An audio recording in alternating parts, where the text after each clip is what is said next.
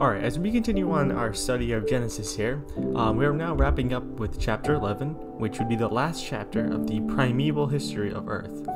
As stated previously in the first video, Genesis is split up into two parts the primeval history, and then you have the history of the patriarchs. And after chapter 11, we'll begin to go into the history of the patriarchs themselves. But beforehand, let's take a look at chapter 11.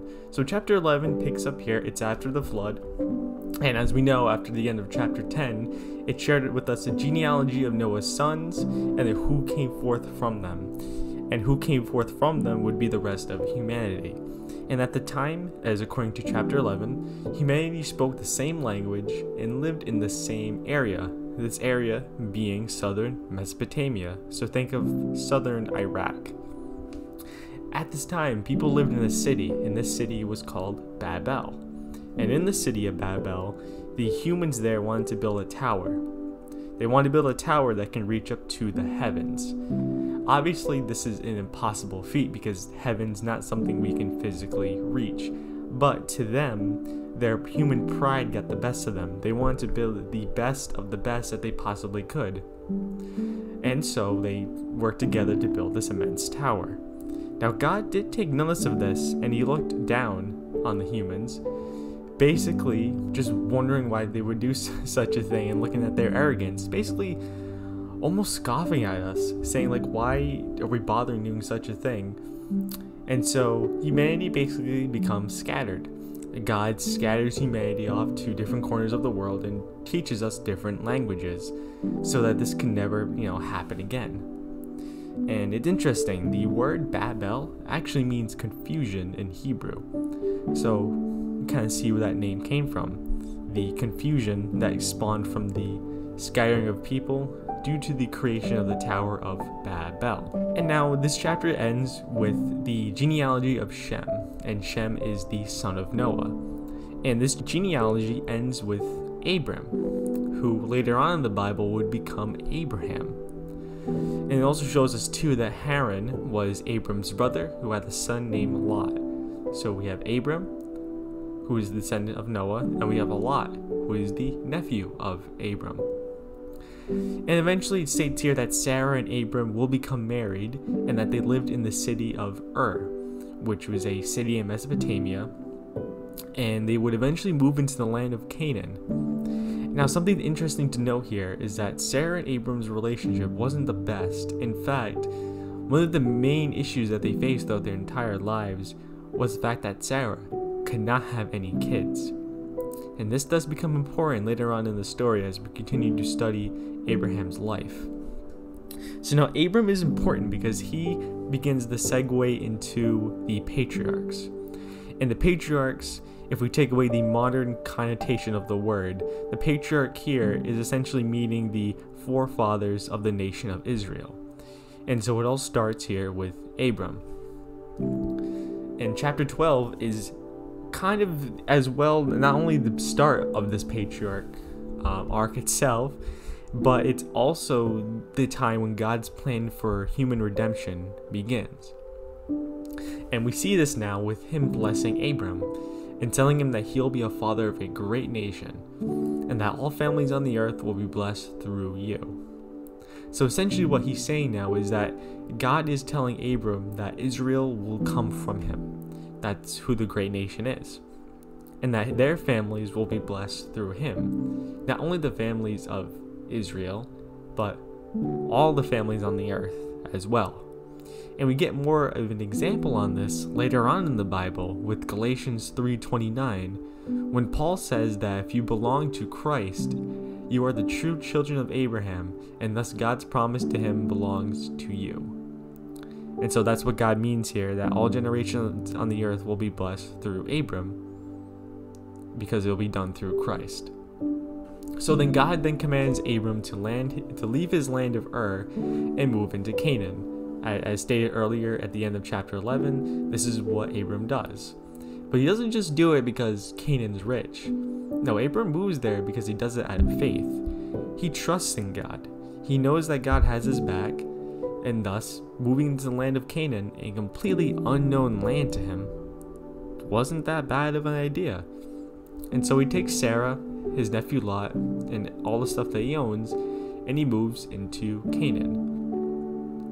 Now, once Abram does reach Canaan, God tells him that this land will be given to his descendants. And we can compare this to another curse by Noah that Canaan will be submissive to his relatives. So I guess kind of just a little Easter egg there. And so Abram continues his journey throughout Canaan and ends up in Negev. And Negev is a desert within Israel, which other terms modern day Palestine, which is where Canaan is. And during this journey, I like to point out that Abram remained faithful the entire time to God, and he trusted in him during this entire journey. As stated earlier, because of the fact that Canaan was a completely unknown land, to Abram at least, and going into this unknown land to many people would be scary, and many wouldn't even do it.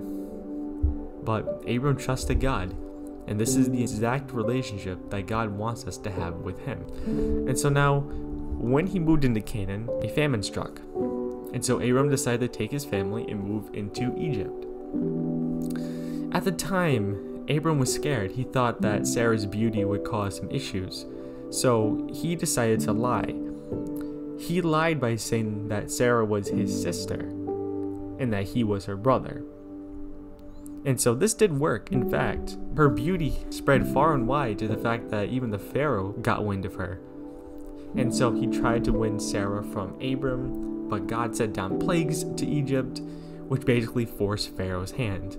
And the Pharaoh did eventually learn the fact that Sarah was his actual wife, not his sister, and sent him off with gifts and pretty much telling him that he doesn't want to deal with a god again.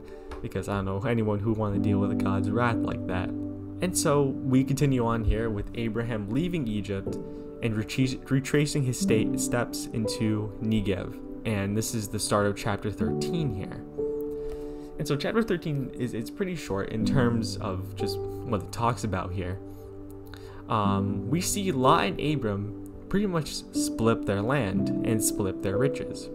Because as we stated earlier, Pharaoh gave Abram gifts just so he wouldn't have to deal with them ever again. And so, because of these gifts, they became very rich. And so, Abram and Lot split what they had to each other and moved to different parts of the Middle East. Abram stayed in Canaan, according to God's word, but Lot moved into the Jordan Valley, east of Canaan. This was because the Jordan Valley was fertile and had enough land and good enough soil in order to actually make not only money, but food. And we see that this wasn't necessarily the right decision, despite the fact that we may see these great opportunities and they may look really nice and they look, look really great to our flesh. It's not what God wanted. In fact, we see this because of the fact that Lot moves into Sodom and Gomorrah. And so we, I just want to keep that in mind here is that despite the fact that there would be hardships in Canaan, it would be better off that Lot moved into Canaan and kept true to God's word instead of taking his own way in life. And so we end up chapter 13 with God once again blessing Abram, saying that the land of Canaan will belong to his ancestors. And chapter 14 is also an interesting chapter as well, because we see a war breaks out within southern Mesopotamia between many different kings. This is exactly where Lot lives. So, because Lot got caught in the conflict, he does get captured. And so Abram, being his uncle, goes and recruits 318 men and rescues Lot. So now as we continue on and end up in chapter 14 here, we see that Abram actually rejects an offer from the king of Sodom.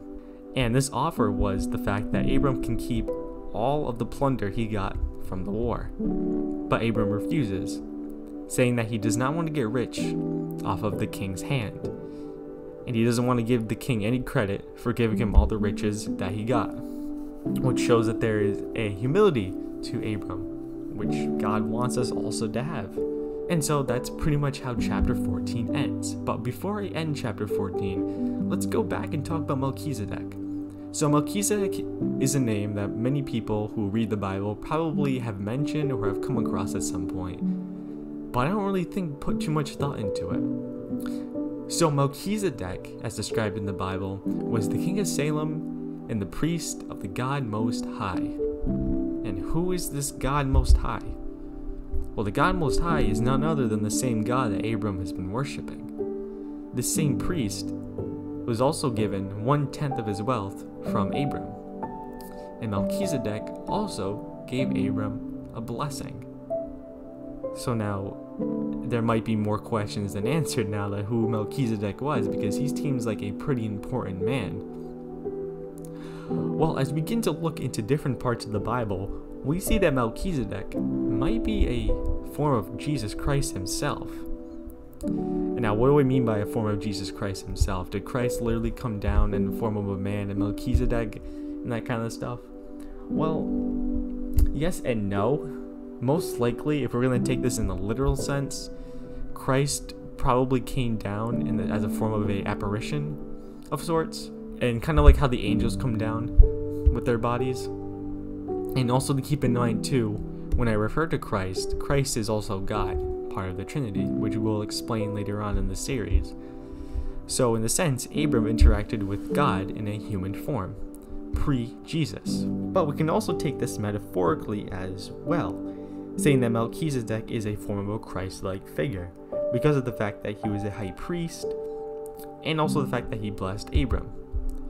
And we can also use different parts of the Bible to boost up this claim as well. If we go into Hebrews 6:20, Christ is mentioned to have come from the priestly line of Melchizedek. And if we also take a look at Hebrews 7:3, Melchizedek is described to have no beginning and no end, and remained a priest forever. And so, with that in mind, we can kind of see Melchizedek being a Christ like figure. And so, as we continue on in our study here, with keeping that in mind with Melchizedek, with all these great blessings that Abraham has received and has yet to receive, he kind of doubts God here.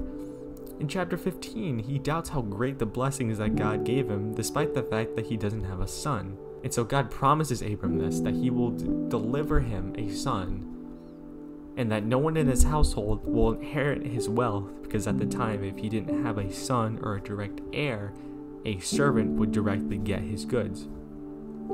And so God says that a servant won't be your heir, I will promise you a son. And this is true, because God promises something, you sure that he's going to keep his promise. And then so God later speaks to Abram, reassuring him that his descendants will be numerous as the night sky above. This is important too, because this claim is also a claim that Israel and the generations that will proceed or descend from Abram will be numerous. And this is also hinting at the fact that there will be the 12 tribes of Israel. But God also reveals a darker side to this prophecy. He reveals that his descendants, Abram's descendants, will be slaves in Egypt for 400 years, but God will save them and will punish Egypt. And now Abram, after receiving all these great blessings and these visions, offers up sacrifices to the Lord to show his commitment and to show his honor towards him. And now, like I stated earlier in the beginning of our study in Genesis, is that God is not a pagan deity. So these sacrifices aren't just like a pagan sacrifice where they would sacrifice an animal in order to bring light into the earth or to make sure the winds blow. This sacrifice was just a way to honor God in a sense. Christ would later come to make sure these sacrifices were null and void. But that's the reason why we see these sacrifices happening here and there in the Bible. And later on, once we go into Mosaic law, these sacrifices were a way to intercede in terms of sin. And now, as we continue on here, we'll begin with chapter 16 in the middle of our study with Abraham.